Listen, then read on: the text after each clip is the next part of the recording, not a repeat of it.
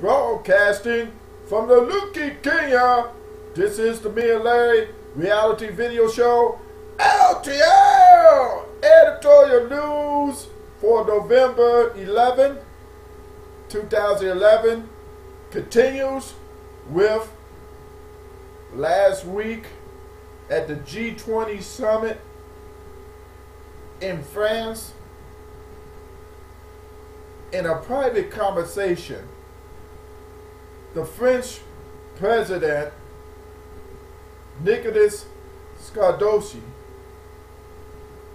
was telling the U.S. President Barack Obama about the Israeli Prime Minister Benjamin Netanyahu that I can't stand him.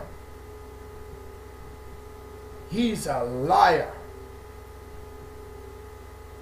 Sarkozy said. And then Barack Obama said, You fed up with him?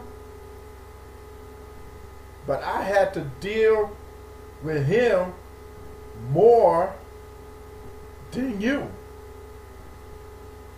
It would have been okay to say in private if they didn't if they would have turned off the mics. They kept the mics on and the journalist was there. Then of course they're going to hear everything. That's embarrassing. Oh i tell you for netanyahu Boy, I know he's he's quite embarrassed.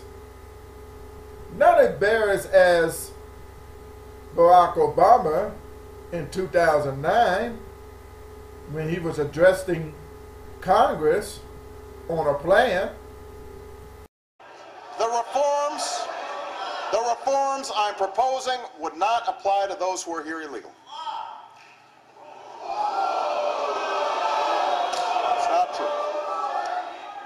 And one more misunderstanding I want to clear up. Under our plan.